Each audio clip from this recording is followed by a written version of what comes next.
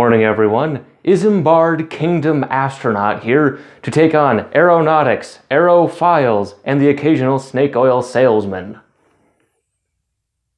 I almost grew mutton chops for this. Today, we're going to take a look at Jules Verne's classic novel, From the Earth to the Moon. Not only will we look at the accuracy of Verne's work, we'll actually see if a space gun to the moon is possible. So, in short, to look at the accuracy, the history of big guns, and then we're going to design our payload ourselves.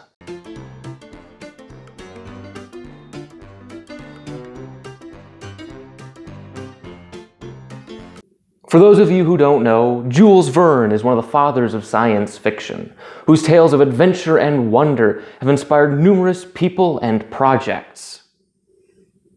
One such story is From the Earth to the Moon.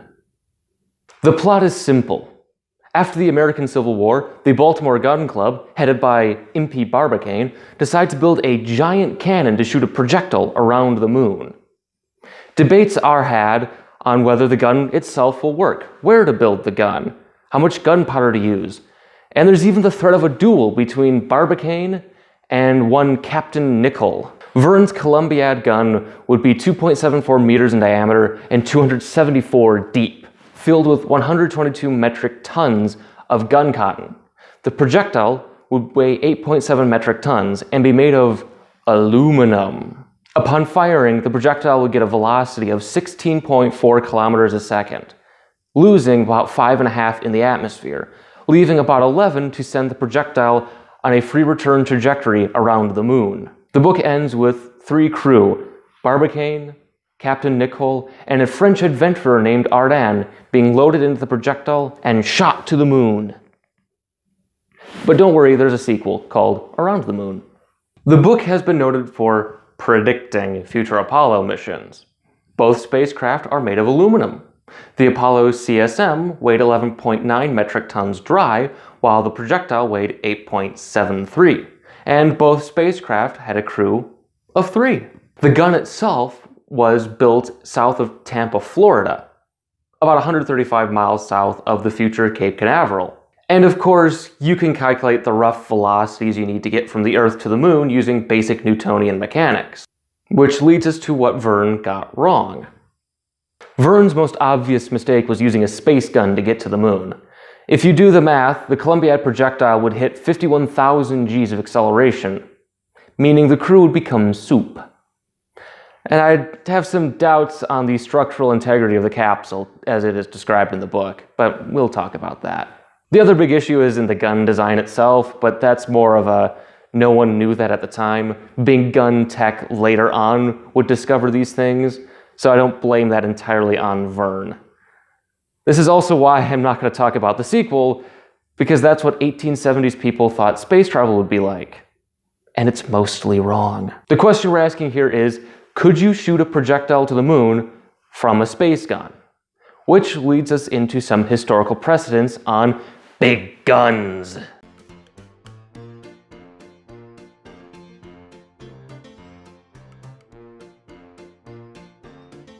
The history of big guns is invariably tied to military history.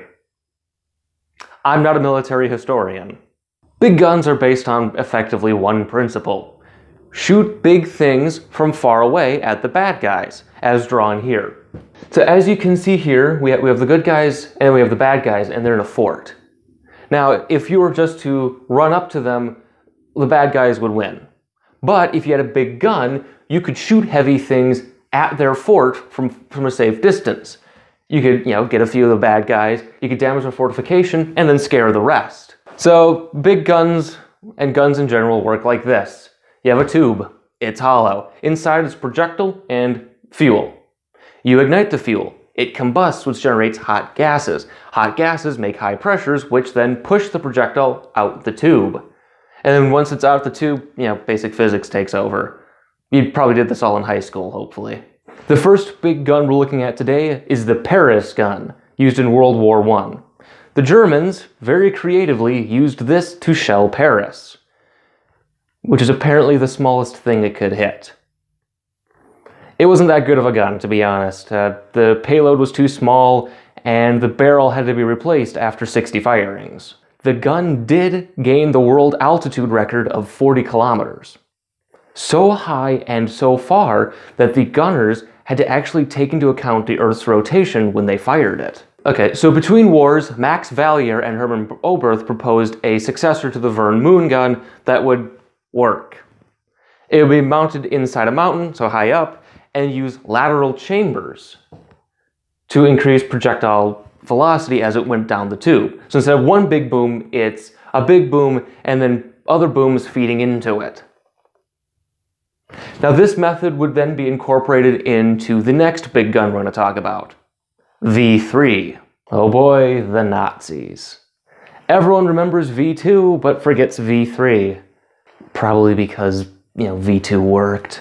V3 was designed to fire 140 kilogram shells from Calais to London, a distance of 160 kilometers. The gun itself will be built on the side of a hill and be 140 meters long. Uh, it never really fired in this capacity because the Allies bombed it. World War II saw the effective end of big guns. Planes and missiles could do the job better with greater accuracy and better payloads. The onset of the jet and space age brought on plenty of new aerospace development and research. Airplanes can now go faster than the speed of sound, and space was now accessible. But this meant that you needed to do a lot more work in, in fields of study, and one of these areas was the upper atmosphere. So here's the problem. Weather balloons can only reach about 180,000 feet. Now, sounding rockets could reach these parts of the upper atmosphere, but at the time they were expensive and finicky machines. Plus, you wanted to get multiple instances of data at roughly the same amount of time, and a sounding rocket couldn't do it. But you know what could? A gun. After the war, gun-based research was done on a few fronts. The United States Army was interested in gun-launched radio and other field equipment, as well as the upper atmosphere.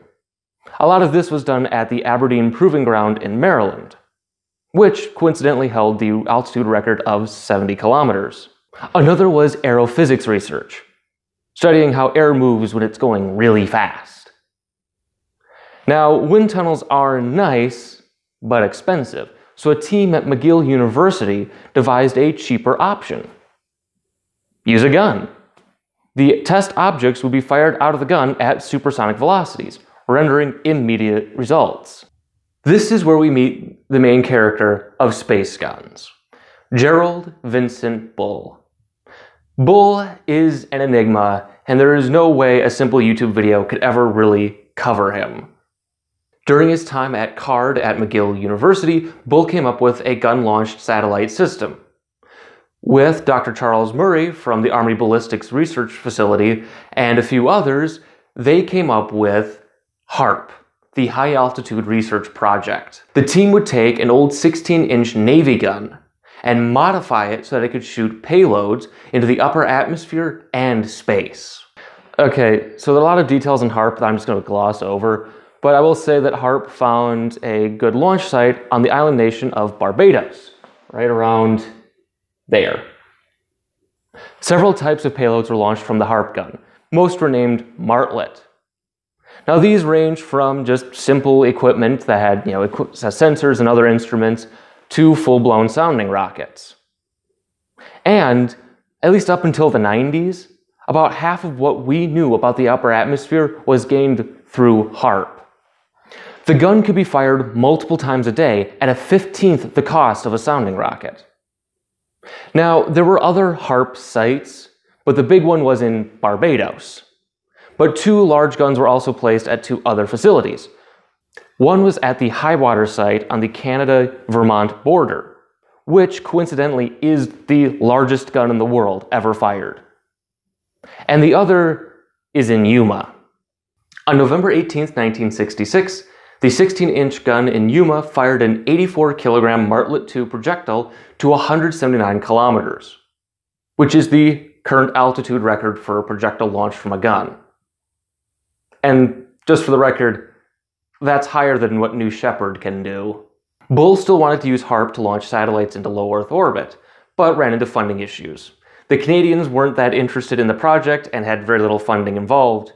The US Army had to deal with Vietnam, and then the Air Force took over as the Space Guys. HARP was shut down in 1967.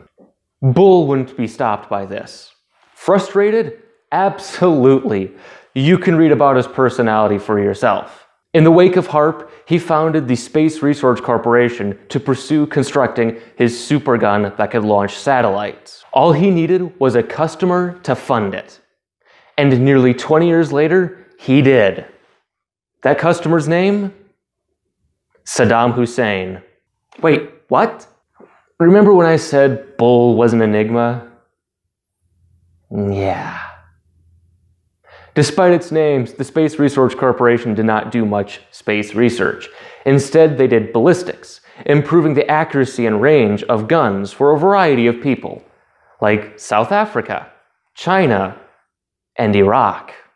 Either way, the Iraqi government was interested in Bull's superguns, contracting him to build at least three in March of 1988. The first would be Baby Babylon, 45 meters long and with a 0.35 meter bore. The next two would be Babylon guns, a 1 meter bore and 156 meters long. These would weigh 1,500 metric tons and can shoot a 600 kilogram projectile a thousand kilometers. Or, with rockets, put payloads into low Earth orbit. Using an all solid system like Martlet, the Babylon gun could put theoretically 200 kilograms into low Earth orbit. Or using liquid upper stages instead of solids, 600 kilograms, all for the low price of 600 bucks a kilogram. Babylon was built in sections that look like pipeline parts. The obvious reason, of course, is from an engineering standpoint, you just couldn't build a barrel that long. And the second was because Bull had to sneak Babylon gun parts into Iraq due to an arms embargo. It didn't work.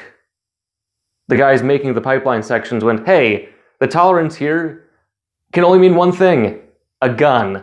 Quick note on that. Babylon would have been a terrible weapon. A simple reconnaissance flight over it could tell you exactly where it was aimed.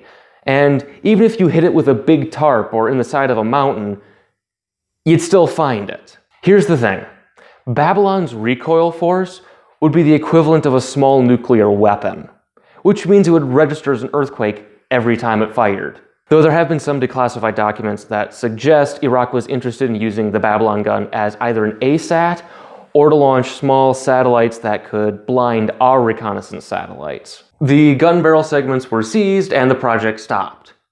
Bull was assassinated on March 22, 1990, outside his apartment in Brussels.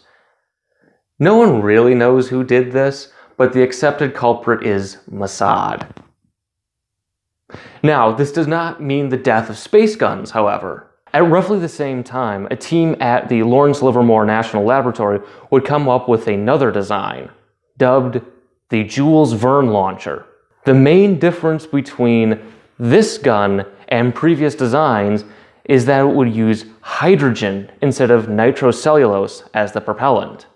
The reason for this change is actually quite simple. Much like rockets, gun dynamics are influenced by icky, icky, horrible fluid mechanics. But at the end of the day, the exit velocity of the projectile or the gases leaving the gun is still influenced by the molecular weight of the propellants. Now, gunpowder uh, combustion products are rather heavy. So the theoretical maximum velocity of a projectile coming out of one is 3 to 3.5 kilometers a second. With hydrogen, which as we all know is much, much lighter, the muzzle velocity caps out between 7 and 11 kilometers a second. For reference, Earth escape velocity is 11.2 kilometers a second. The planned launcher would toss a two ton rocket projectile out at 4 to 7 kilometers a second, with an orbital payload capacity of somewhere around 330 kilograms. Uh, if you want more details, read the references at the end. Also, unlike conventional gunpowder guns, this would be a two stage system. The first stage would use natural gas combustion to ram a piston down the barrel, which would then pressurize and heat up hydrogen in the second stage of the gun, which would get it faster. This led to the creatively named Super High Altitude Research Project, SHARP. It, it never got pointed upward, unfortunately. Sharp ended up relegated to firing ramjets at 3 kilometers a second out of the barrel, among other payloads. Though one notable payload was a mock up of a ruggedized gun launched satellite, which survived and worked. In 1996, the project was shut down, and John Hunter decided to form his own company called the Jules Verne Launch Company. That sounds kind of familiar. This led to Quicklaunch, an updated version of Sharp and the Jules Verne launcher. The first planned gun would have been built on Adak Island off Alaska. Eventually, a larger gun was planned to be built on an oil rig. Now, this has an obvious vantage over HARP and Babylon in that you could move it and aim it depending on customer launch needs.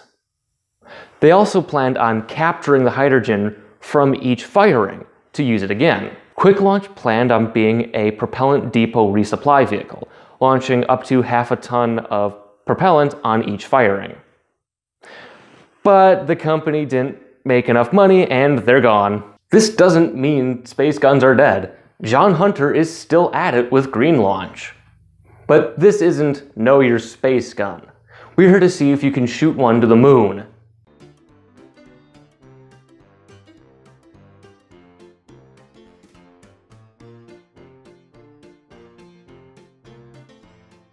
Before we get going, I want to make a, a quick note. Space guns work. All of this works. There's no catch to this. You can fire payloads into space with a cannon. You can make electronics that can survive these launches, even scientific instrumentation. Propulsion systems can survive a launch. Now, for solid motors, you'll need something to fill up the combustion chamber before it fires to prevent the grain from collapsing. But Bulls solved that. The TRL for space guns is 6 to 7. All these parts work independently, they've just never been integrated. Now again, you're not going to launch anything delicate or living, but there is a potential market for raw materials and ruggedized satellites.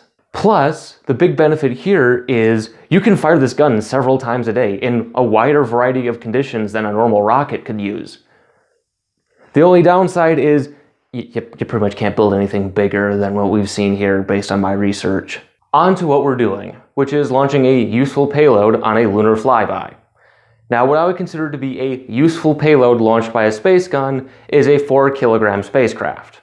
For reference, your average CubeSat weighs about 1.3 kilograms, so I figure a sufficiently ruggedized system is about 4.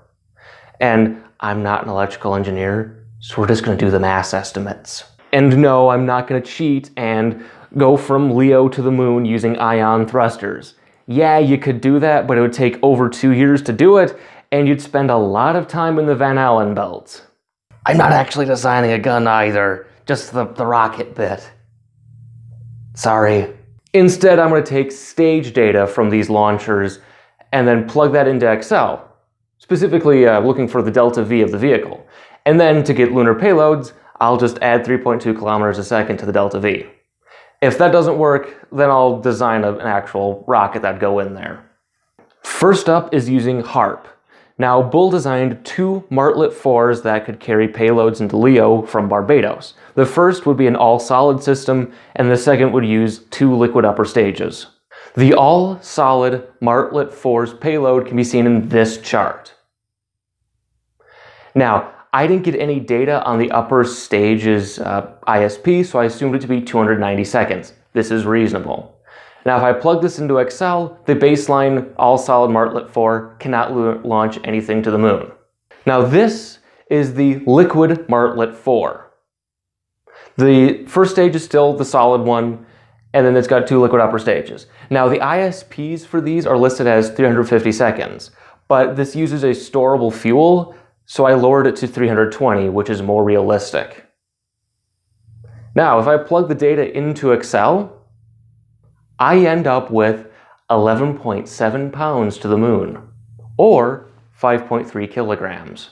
This works, theoretically. Okay, on to Babylon, which could theoretically shoot 200 kilograms to LEO with a 2,000 kilogram rocket. I tried applying Martlet data to this and I could not make it work. I honestly could not make any aspect of this work. I couldn't find anything. Okay, so I went searching for details on what Babylon's payloads would look like, and all I could find was one diagram showing a single solid stage system in a CIA report. Declassified, of course. I'm going to assume that if the Babylon payload was like Martlet, then it could have theoretically tossed some payloads to the moon using liquid stages.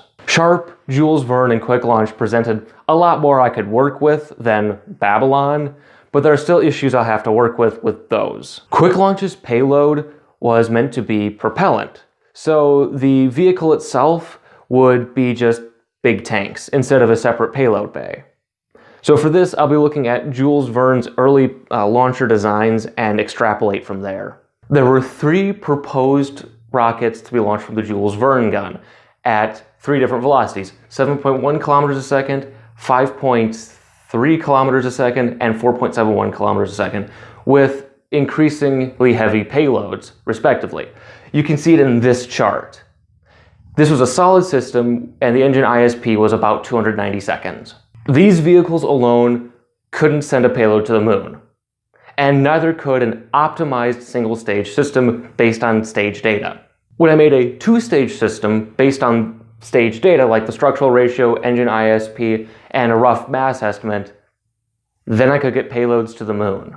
I end up with 19.3, 61.9, and 104.5 kilograms to the moon on these three vehicles, which is a very useful payload. And for reference, the Capstone mission, which is being launched on an Electron next year, weighs 26 kilograms. If I were to switch over to liquid propellants for the upper stages, then I could have probably increased my payload capacity to even more than that.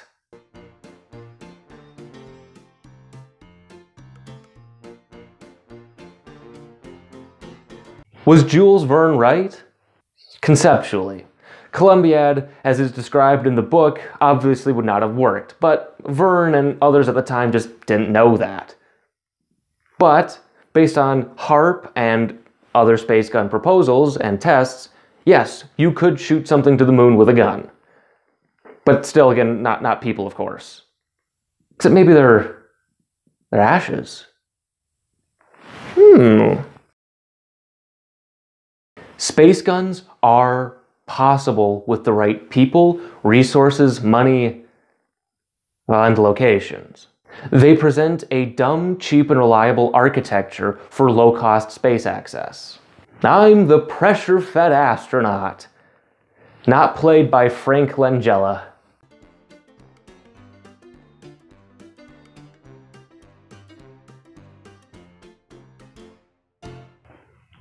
Oh look! Jerry Bull! Who's this? Bye.